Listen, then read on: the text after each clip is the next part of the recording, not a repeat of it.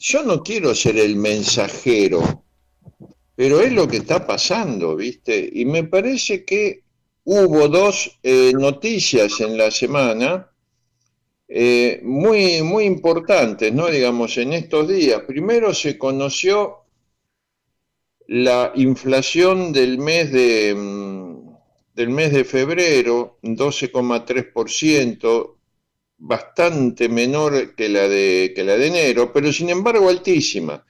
Y no solamente eso, que, que uno podría decir, bueno, está bien, venimos mal, etcétera, sino que marzo ya pinta otra vez por arriba del 20%, porque en marzo todo el mundo lo sabe, comienzan las clases, cambio de temporada, digo, tremendo, tremendo lo que, lo que se viene. Nadie habla de salarios, el, eh, ¿Vos te acordás lo que pasó con, los famosos, con el famoso ingreso de los, altos, de los funcionarios altos? Terminó eyectado el secretario de Trabajo que no tenía nada que ver con eso pero por si acaso, ¿viste? Siempre hay que buscar un responsable.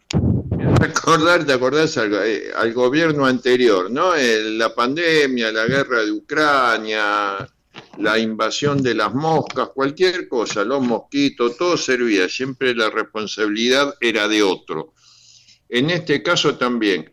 Bien, baja la inflación, como se dieron cuenta finalmente que, y esto no es chiste, ¿eh? especial, está en todos lados además, no digo nada nuevo, que un pan lactal sale más caro en la Argentina que en Estados Unidos, eh, ¿qué, hizo el gobierno? Acaba de blanquear, abrir la importación para 2.936 posiciones arancelarias.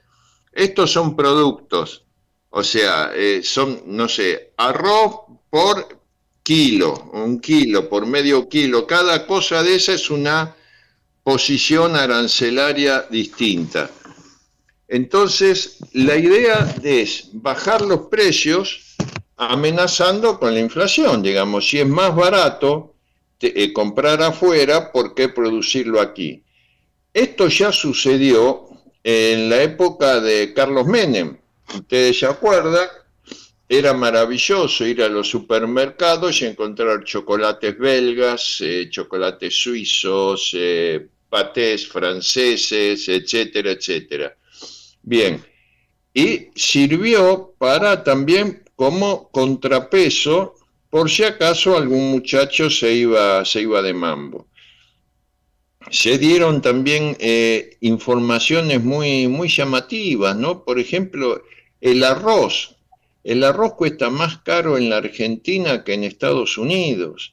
La Argentina, eh, recuerdo, produce arroz y además exporta arroz, básicamente a Brasil, pero exporta arroz. O sea, no son cosas importadas. No, no, estamos hablando de celulares, computadoras, de cohetes a la luna. Estamos hablando de alimentos que son más baratos en países con salarios 10, 15 veces más altos que los argentinos y con productos de precios similares e incluso en casos de primera necesidad, alimentos de primera necesidad más baratos. Bien, entonces, bajó la inflación, se abrió la importación de, eh, de alimentos, básicamente de alimentos. Y ayer el Senado le puso un, veto al DNU, al famoso DNU del gobierno, que todavía no tiene efecto práctico porque debe ser derogado por la Cámara de Diputados y ahí la cosa va a estar mucho, mucho más discutida, mucho más peleada. En principio, no sé, por ejemplo, algunas de las cosas que de caerse el DNU eh, podrían suceder.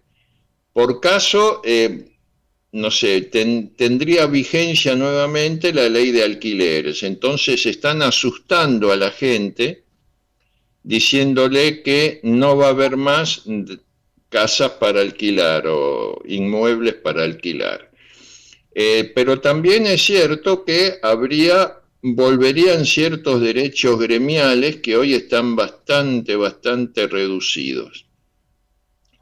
Eh, digamos, por, el efecto esta del, del, DNU. De todas maneras, de todas maneras, hay una discusión de fondo en términos económicos, que es lo más significativo, que tiene que ver con los fondos para las gobernaciones. Ya es un dato, ya es un hecho que el presidente le dijo a los gobernadores que si no le aprueban la ley ómnibus no hay plata para las provincias y si no hay plata para las provincias puede haber serios problemas, no solo de financiamiento, de funcionamiento. Ya hay, ya está, ya hubo ayer, 14, eh, sí, ayer fue el primer día de paro de los trabajadores de las universidades públicas porque no solamente no hay paritarias, etcétera, sino que además no hay presupuesto.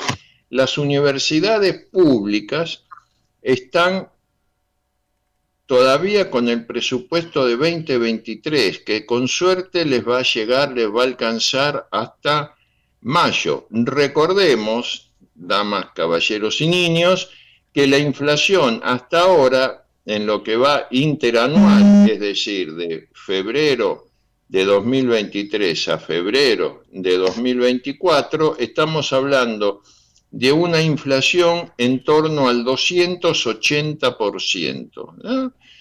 Y eh, ese, las cosas han subido bastante, sobre todo los alimentos, y no hay fondos para las universidades públicas.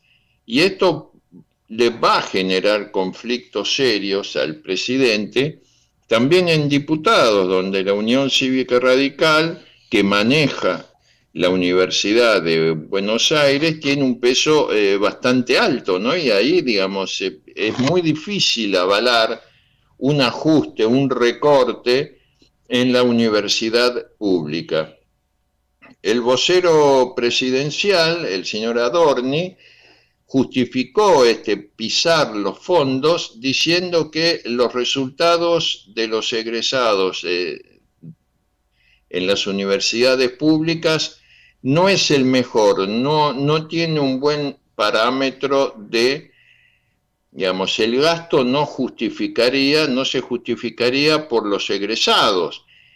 El señor Adorni eh, se olvida seguramente que todos los premios Nobel de la Argentina pasaron por la universidad eh, pública. El señor Adorni seguramente se olvida que la UBA es una de las 50 universidades más prestigiosas del mundo y, se entiende también porque el presidente se recibió en una universidad privada.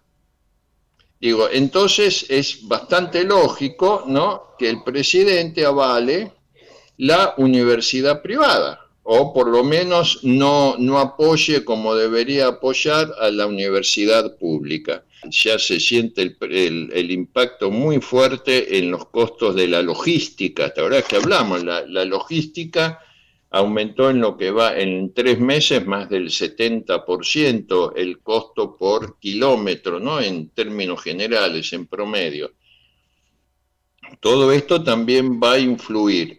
¿Y qué va a pasar con el tema este de la licuación de los, de los pesos? Todo, eh, digamos, es, es notorio cómo el, el valor del peso se ha disminuido de manera alarmante ¿De, qué forma? Básicamente, convalidando altísimas tasas de inflación, repito, diciembre, enero y febrero en torno al 70%, sin aumentos salariales, sin aumento en los ingresos, sobre todo de las personas con ingresos fijos y que dependen del Estado. Pienso en policía, pienso en maestros, pienso en jubilados, pienso en pensionados, pienso en asistencia social, etcétera, etcétera. Hubo muy, muy pocos toques, excepto en la AUH, en la asignación universal por hijo, que hubo cierta mejora. El resto no. Entonces, eh, es una situación difícil, por llamarla de alguna manera. La idea del gobierno es ir licuando de tal manera la cantidad de pesos en circulación que aproximadamente en junio se levante el famoso cepo, este que te impiden eh, comprar dólares. Yo quiero saber qué va a pasar, y lo digo como, ¿no? como, argentino, como, como argentino de cierta edad, ¿qué va a pasar cuando eh, los argentinos puedan ir a comprar dólares sin problemas, sin la limitación de los 200 dólares que va a pasar, que, tienen ahora, que, y que tiene muchísima más gente de la que parece, ¿no?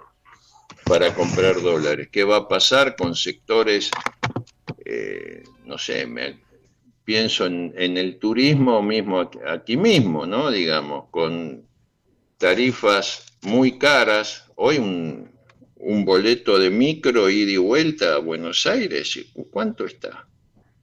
Cerca de 80 mil pesos. Digo, es un disparate. Vos me, alguien puede decir, es lo que vale. Sí, está bien, es lo que vale, pero eso con, con, con salarios de hace seis meses atrás, y hermano, cuesta, cuesta muchísimo todo. Eh, y me parece que lo que hay que lo que hay que tener, lo que hay que seguir controlando muy, muy, muy afinadamente, ver qué es lo que pasa, es el tratamiento en diputados de la ley ómnibus. Porque si, el, si hay una nueva derrota del presidente, si la Cámara de Diputados le voltea el DNU, va a ser una situación muy compleja por la debilidad política que va a exhibir el presidente. Hoy por hoy, en el exterior, ¿qué se dice? Apoyamos lo que, di, lo que hace mi ley, etc. Ahora, el problema es, ¿lo puede sostener en el tiempo? Y esta es la gran pregunta, ¿no? Digo, me parece que hasta que no se pueda contestar eso claramente, y eso como cuando se va a saber, cuando diputados se reúna para tratar el DNU. Ahí veremos si, el gobierno tiene o no las, las, suficientes espaldas políticas como para soportar eh, este durísimo ajuste, ¿no? Que, está soportando la gente, sí, claro, la gente la que gusta. Ya hoy están hablando, ¿no? De las tarifas eléctricas sobre todo, este, y, realmente eso puede ser absolutamente preocupante, ¿no? Para, para eh, acá están hablando, ¿no? De que uno va a pagar una casa normal, va a pagar 45 mil pesos de luz. Sí, claro. O sea, eh, ¿cuál es el problema? Que es una casa que paga 45 mil pesos de luz con un ingreso de ponerle con suerte 500 mil pesos. Con lo cual el 10% del ingreso de la casa se va a ir en la luz. Eh, y sí, sí, el transporte, Carlos, el transporte es carísimo. Acá, digamos, en la costa, en, en GBA no, pero acá vos podés llegar a perder el 10 o usar, invertir, por decirlo de alguna manera, el 10% de tu ingreso es un disparate. ¿Es lo que tiene que costar el colectivo? Seguramente que sí. El problema es el ingreso, el problema es el salario somos Radio Noticias